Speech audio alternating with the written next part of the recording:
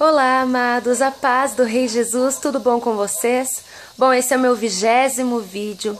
É um vídeo muito especial porque eu vou compartilhar com vocês experiências que eu tive com Deus e as crianças. Um, nosso Deus, ele é maravilhoso, ele está em tudo e em todos. Uma, uma folha não cai no chão se Deus não permite. E tudo que é fôlego louve ao Senhor. Tudo que tem vida depende de Deus, porque Ele é a fonte da vida.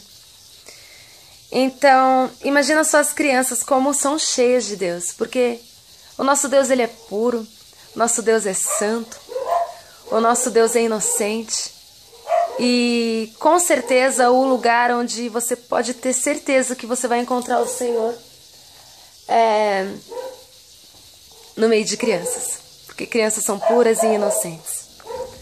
Bom, eu vou compartilhar com vocês que quando eu era criança, devido às coisas que eu passei na minha infância, uh, chegou uma idade da minha vida, lá para os meus 10, 12 anos, que eu não gostava muito de criança. Eu, as crianças passavam por mim, eu, eu encarava, eu não queria ficar perto de crianças, eu não gostava de crianças, mas o engraçado é que quando eu era criança eu era muito amorosa. Mas eu creio que eu já estava começando a ficar rebelde, revoltada, então o amor já estava se esfriando em mim. E eu acho que o primeiro sinal da falta de amor é quando você não consegue sentir amor por uma criança. Cara, criança é o ser mais puro. Olha, as pessoas que não conseguem sentir amor por criança, que não conseguem sentir amor por animais, com certeza são pessoas que estão vazias de amor, porque são seres muito puros, são seres muito inocentes. E então eu lembro que que teve um dia que eu fui com meu ex-noivo para um restaurante. Eu tinha uns 20 anos e o meu ex-noivo era um homem rico e nós fomos a um, um barzinho e foi lá em São Paulo. Eu lembro que na frente desse barzinho tinha um semáforo e de repente era noite, estava muito frio e tinha umas crianças com a barriguinha de fora, descalço. É, creio que tinha idade de 6, 4 anos, tinha crianças de 10, mas eu lembro que era uma criança de 6 aninhos carregando, outra no colo de 2 aninhos. Eu sei que isso é estratégia de muitas mães que usam seus filhos para pedir dinheiro, para pedir esmola, e infelizmente muitas mães usam suas crianças para usar drogas, não é nem para cuidar dos filhos, é para o proveito próprio mesmo, é mero egoísmo. Independente, aquilo mexia comigo porque eu moro numa cidade do interior e aqui em Guararema é difícil você ver essas coisas. Aqui em Guararema você não vê criança na rua. Aqui tem um orfanato, então é, é uma cidade pequena, então não tem essas coisas que a cidade grande tem, que você vê muitos moradores, você vê crianças na rua, você vê prostitutas nas esquinas, você vê de tudo em cidade grande, mas aqui nessa cidade pequena você não vê essas coisas. Então eu lembro que quando eu fui nesse restaurante com meu ex-noivo, me impactou muito ver essas crianças e eu fui e falei assim pra ele, é, de verdade, eu não vou conseguir comer aqui porque. Eu falando pra ele, eu não vou conseguir comer aqui porque olha essas crianças na nossa frente. Você acha que eu vou conseguir comer desse jeito? Você acha que eu vou conseguir comer vendo essas crianças passando fome, descalço nesse frio? E o meu ex-noivo virou para mim e falou assim: Dani, aqui em São Paulo isso é normal. Você não vai conseguir resolver os, pro os problemas do mundo. Você tem que viver sua vida. Entendeu? Se você não comer, outra pessoa vai comer no teu lugar e as crianças vão continuar ali. Eu entendi o ponto de vista dele. Ele teve um ponto de vista de, de vista racional. Ele, ele foi bem claro. Não o julgo por isso. Porém, eu não consegui aceitar aquilo. Eu não consegui me conformar com aquela situação. E quando eu olhei para o lado, eu vi o ambiente que eu estava. Eu vi muitas mulheres ricas com taça na mão de champanhe, dando risada, tipo, ha, ha, ha, ha e aquelas crianças ali na frente, descalços. Meu Deus, quando eu, eu me toquei no ambiente que eu estava, falei, meu Deus, o que, que eu estou fazendo? Eu, eu não me conformo, eu não sou igual a essas mulheres, eu não quero isso para minha vida. E de repente eu olhei para a cara do meu noivo e falei assim para ele: Olha, quando a gente terminar de comer, eu posso pegar o que sobrar e levar para as crianças, porque tem muita comida aqui na mesa. E ele foi e falou assim para mim, Dani, de verdade, você não, a gente não vai fazer isso. E ele, tipo, não queria fazer. E eu lembro que eu virei para ele e falei assim: olha aqui, duas. Aí eu eu era muito, muito arretada naquele tempo. Eu já era bem arretada, sabe? Eu tinha uma opinião forte já. E eu virei, inconformada, eu virei para ele e falei assim: olha, duas opções eu te dou. Eu não vou conseguir comer com essas crianças na minha frente. Se a gente começar a comer aqui, vai me dar louca, eu vou até essas crianças e vou trazê-las aqui na mesa para comer com a gente, para envergonhar esse povo mesquinho, esse povo nojento, esse povo vazio. Ou a gente vai embora. E ele olhou para minha cara, ele sabia que eu era louca naquele tempo e ele não quis, ele não quis testar a minha fé. Ele falou: "Tá bom, você venceu, a gente vai embora". E, e já estava tudo pago. E para evitar vergonha, porque ele era um homem que prezava muito pela reputação dele, e para evitar vergonha ou escândalo, ele preferiu ir embora. E eu, muito brava, muito nervosa, eu falei: tá bom, orgulhosa, eu vou embora, mas eu não como, eu mantenho a minha dignidade. Eu não vou me misturar com esse bando de, de gente nojenta que consegue comer e se divertir na frente de um monte de criança que tá passando fome. E nisso a gente veio embora. E ele ficou muito bravo comigo, ficou a noite inteira sem falar comigo, mas eu creio que depois ele entendeu, ele compreendeu o meu ponto de vista e eu não me arrependo de ter feito isso. Eu me sinto muito orgulhosa pela, pela atitude que eu tive naquela noite e eu creio que Deus lá do céu já estava olhando isso. Eu creio que eu ganhei um ponto no céu com Deus e ele falou: Ali, a minha filha, até no mundo já está expressando o meu caráter. Na palavra do Senhor diz que Bem-aventurado os que têm sede de justiça, porque esses serão completamente saciados. Na palavra do Senhor também diz: Não vos conformeis com este mundo. E para a glória de Deus, naquele momento, eu não me conformei. E eu me levantei da cadeira e vim embora para minha casa, mas eu me mantive digna da, daquele momento. Eu me, dormi com a minha consciência tranquila de que eu fiz o meu melhor naquele momento. Hoje em dia eu faria diferente. Hoje em dia, agora que o Espírito Santo está em mim, agora eu tô duas vezes mais doida. Se no mundo eu era louca, agora com Deus eu vou ser muito mais. Hoje em dia, eu fazia um. Uma, eu pegava aquela comida e na frente de todo mundo eu, eu dava para as crianças, eu chamava as crianças para comer na mesa comigo e pagava a conta. Hoje em dia eu faria isso. E com certeza eu ainda vou fazer, porque na palavra do Senhor diz que onde havia pecado superabundará a graça e no lugar da vergonha o Senhor, o Senhor trará dupla honra. Não duvido nada que eu ainda vou fazer isso, hein, gente? Não duvido nada.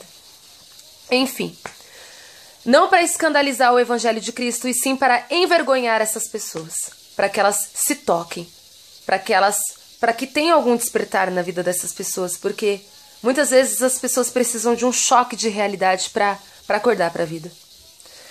E, e, e, isso eu guardei comigo e eu nunca esqueci, sabe?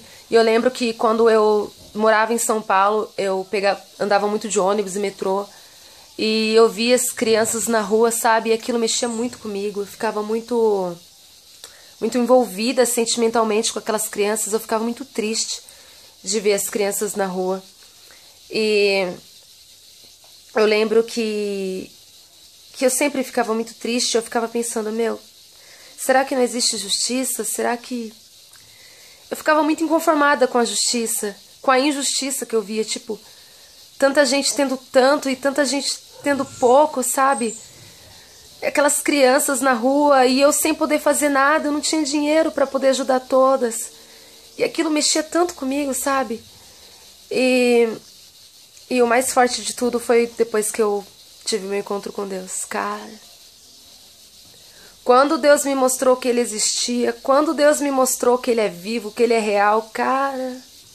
Cara. Tudo aquilo veio à tona, sabe? Todos esses momentos que eu vivi, sabe? Aquela aquela sede que eu tinha de justiça. Eu falei, meu Deus, ele existe. Então tudo isso um dia será será posto em julgamento os olhos dele está sobre essas crianças de rua. Ele está vendo tudo isso, então ao mesmo tempo vem um alívio tão grande em mim de saber que ele existe. Sabe? Saber que Deus existe quando você tem a convicção de que Ele existe, quando Ele se revela para você, excede todo entendimento, é uma glória tão forte, é, é uma justiça que te, que te invade, que você não consegue explicar, é só quem vive. Sabe, me veio aquela, aquele alívio tão grande de que tudo um dia será julgado e que tudo será colocado no seu devido lugar. E então tudo começou a fazer sentido, aquelas frases que eu ouvia. O homem pode escapar da justiça do homem, mas da justiça de Deus ninguém escapa. Então tudo começou a fazer sentido, sabe? E, e eu fui me entregando cada vez mais a Deus. E, meu Deus, Ele existe, Ele tá vendo tudo isso, cara. Meu Deus! Aqueles momentos que eu, que eu via aquelas crianças, Deus estava me olhando, Ele estava ele estava me provando, ele estava me testando, não era em vão. Deus estava vendo meu coração, ele estava vendo o que eu sentia por aquelas crianças, então você pode ter certeza que nada escapa dos olhos do Senhor, nada escapa dos olhos do Senhor. Todos nós estamos sendo provados nessa terra. Essa vida é um teste. Essa vida é um teste. Essa vida é um teste. Então, hoje eu dou glória a Deus por saber que Ele esteve comigo todo esse tempo e que Ele já me sondava. E Ele já conhecia o meu coração. Eu não estou fazendo isso para me gloriar, mas eu me glorio no Senhor. Toda honra, toda glória seja dada a Ele. E eu me lembro também que foi depois que eu tive meu encontro com Deus, eu Deus me colocou diante de uma criança, era uma sobrinha minha, e ele me mostrou. Eu estava morta espiritualmente. E, e eu olhei para minha sobrinha e não senti nada por ela, eu estava morta espiritualmente. Foi um pouco. Foi, foi bem no tempo, na fase que eu, que eu estava tendo meu encontro com Deus. E foi quando eu olhei para minha sobrinha e, e ela tinha dois aninhos. Sobrinha não, uma priminha minha. E, e eu não senti nada por ela e eu vi e eu comecei a refletir que o problema estava em mim. Eu, por que, que eu não sinto nada por essa criança? Sendo que ela é tão pura. E eu comecei a chorar, clamando a Deus para derramar amor em mim, porque eu queria, eu queria amar aquela criança e eu não conseguia porque eu já estava morta espiritualmente. E, e eu clamei a Deus e falei: Deus, eu não aceito isso, eu quero amar essa criança. Eu quero amar essa criança. É impossível olhar para essa criança e não sentir amor. E por que, que eu não estou sentindo nada? E foi quando eu me quebrei, eu me derramei e implorei a Deus. E na mesma noite eu olhei para aquela criança e de repente Deus começou a me encher e eu comecei a, sentir, comecei a sentir muito amor por aquela criança. E eu comecei a abraçar ela chorando muito, chorando muito. Ou seja, na palavra do Senhor diz que Deus levantou um profeta, Ezequiel, e disse: Ezequiel, Olhe para esses ossos. Acaso poder, poderia eu ressuscitá-los? Eu não me lembro direito se foi isso, mas é algo assim. Poderia eu gerar vida sobre esses ossos secos? E Ezequiel respondeu: Tu que sabes, Senhor. E o Senhor disse: Profetize sobre esses ossos, ossos secos. E naquele momento os ossos é, ressuscitaram e, e as pessoas reviveram novamente aquele exército de, de vidas. E eu creio que naquele momento foi o que o Senhor fez comigo, porque eu já, tava, eu já estava morta, no meu coração já estava seco. Porque eu já tinha sofrido tanto na minha vida que eu estava tão calejada a ponto de não sentir mais amor. A ponto de não sentir amor nem mesmo por uma criança. Eu tinha muita sede de justiça, mas eu não conseguia amar mais. E foi quando, naquele momento, que o Senhor me mostrou: Filha, quem gera a vida sou eu. Quem gera o amor sou eu. Por isso que para Deus nada é impossível. Por isso que para Deus resgatar qualquer pessoa, para ele não é difícil resgatar um assassino, uma prostituta, um drogado, um homossexual. É, são as pessoas que são desprezadas pela sociedade. Uh, são pessoas que são muito atacadas, são pessoas que são, levam muita pancada na vida. E assim elas acabam se tornando frias, calejadas. É até mesmo uma maneira de se manterem na defensiva, mas não é isso que Deus tem para nós. O Senhor nos criou para sermos felizes, para sermos cheios de vida, para sermos cheios do amor e da presença dele. E naquele momento o Senhor me encheu e tudo começou a mudar. E a partir daquele dia eu tive muitas experiências com Deus, o Senhor usou crianças para falar comigo e, e foi tão lindo, sabe? Teve um dia que eu estava no salão e de repente eu estava conversando com uma amiga e de repente Deus usou uma criança para me entregar uma mensagem. E eu fiquei impactada, sabe, de ver Deus usando a criança e, e começou a me entregar várias coisas e eu chorava, eu chorava, eu chorava. Teve um outro dia que eu estava vindo embora para minha casa, eu estava muito triste e estava me sentindo sozinha. Mesmo com Deus, eu estava me sentindo sozinha, sabe? E quando eu cheguei em casa, Deus usou a, a filha da minha vizinha e falou assim para mim: quando você fica. Ela falou assim para mim. Ela tinha seis aninhos. Ela falou assim: quando você fica triste, quando você fica sozinha, você se sente tristinha, né? E na hora que eu olhei pra cara dela, eu vi Deus nela me olhando. E, e naquela hora eu me enchi, eu me alegrei e, e chorei muito emocionada e abracei ela. Na igreja, todas as vezes que eu chego na igreja, vem um monte de criança me abraçar. Veio umas cinco de uma vez, igual um exército, assim, sabe? Elas, uma gruda na minha perna, uma gruda no meu braço. E eu fico maravilhada que eu vejo o amor de, eu, eu vejo o amor de Deus se manifestando para mim daquela maneira, tipo, oi filha. Olha como as crianças te amam, olha como eu te enchi do meu amor. Sabe, elas vêm que nem uns anjinhos me abraçar e, e aquilo me enche tanto, sabe? Eu, sinto o amor e um cuidado de Deus tão grande pela minha vida e pela vida das crianças que estão ao meu redor. E todas as noites que eu chego nos cultos, as crianças vêm me receber, sabe? Aquele jeito maravilhoso, aquele jeito amoroso, e nem eu entendo. Eu falei, meu Deus, umas querem ficar no meu colo, eu falo, meu Deus, como assim? Sabe? É, é algo maravilhoso, é algo lindo, e eu, eu fico plena, eu fico transbordando, sabe? De, de tanta felicidade. E, e, e hoje eu sou apaixonada por crianças. E, e, esse amor que eu sinto por crianças veio de Deus. Foi Ele que me encheu, porque para Deus nada é impossível. Então, se te falta amor, peça a Deus. Ele vai te encher. Hoje eu amo os meus pais, hoje eu amo a minha família, hoje eu amo as crianças. Hoje eu sempre amei os animais, mas hoje eu amo muito mais os animais. Hoje eu consigo amar até mesmo os meus inimigos porque o que está em mim não vem de mim, vem do céu. Na palavra do Senhor diz que Deus ele tem muito para cada um de nós.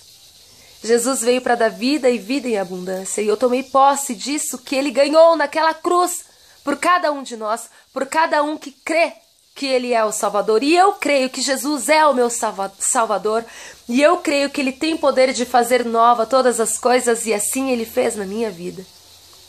E, e eu só vou compartilhar com vocês uma última vez que Deus usou uma criança e foi lindo. Eu cheguei na casa de uma amiga, tinha uma criancinha de seis aninhos e, e eu, quando eu olhei para ela, eu senti que ela estava passando por tudo que eu já passei, eu senti que ela estava sendo abusada. E nisso eu virei para ela e era uma criança muito doce, muito amável. E eu virei para ela e falei assim para ela: "Posso orar por você?" Ela falou: "Pode". E eu comecei a orar por ela, intercedi por ela e, e foi maravilhoso, sabe? Profetizei sobre ela, a abençoei. E no final eu senti de falar assim para ela: é, agora é sua vez de orar por mim. Você ora por mim? Ela falou: Mas eu não sei orar. Eu falei para ela: Pede alguma coisa pro Papai do Céu. Pede um presente para mim, pro Papai do Céu. E ela olhou pra minha cara e fez assim: Hum, eu peço um vestido de noiva e flores. Nossa, gente, eu dei pulos de alegria. Eu dei muita risada, eu dei muita risada porque foi confirmação de algo que Deus já tem me falado, que está trazendo o meu escolhido, que, que tem uma pessoa para mim e que está chegando e, e Deus usou aquela criança para confirmar. E, e foi lindo, eu até chorei, foi maravilhoso, sabe? E era Deus ali nela naquele momento. Então, o que eu quero dizer para vocês é que crianças são anjos de Deus na terra. Crianças são muito usadas por Deus. Crianças oram, crianças intercedem, crianças sentem a presença de Deus. Crianças são guardadas por Deus de uma maneira que excede todo entendimento. E cuidem das crianças do Senhor, porque tudo é dele. Nada é nosso, tudo é dele. Tudo é dele. E é isso, gente. Que esse vídeo edifique a fé de vocês, em nome de Jesus. Amém. A paz.